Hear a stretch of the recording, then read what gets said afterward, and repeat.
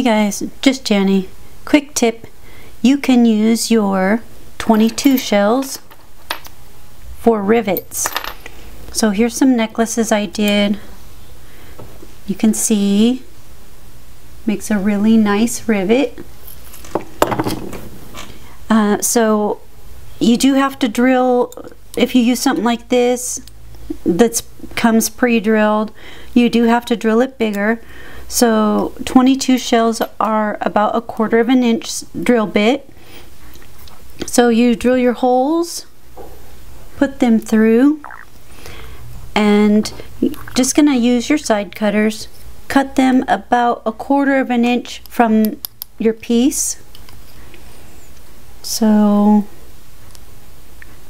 E, my best guess anyway, I don't actually measure it, about yay far.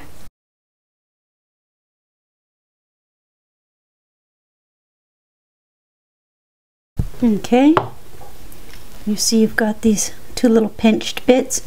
Um, now check the front. I mean, I kind of like mine right side up because, I don't know, I'm just like that. Um, but if you want them to not look too perfect or, get a hold here.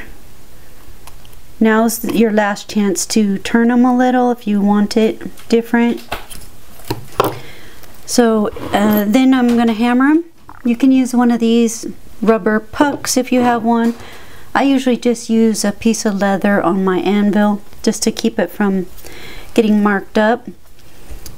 And you're just going to hammer that down.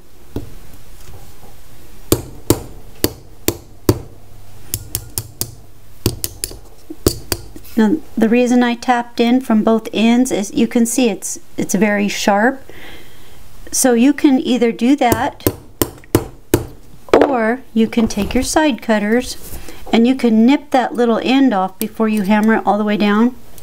It just depends. If you cut it like, like if it turned out too long and you have like a little bit too much brass sticking out, you can nip that off if you need to.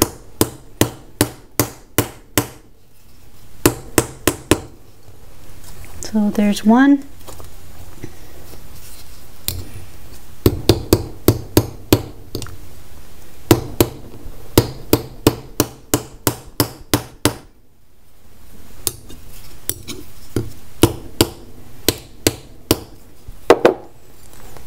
And there we go.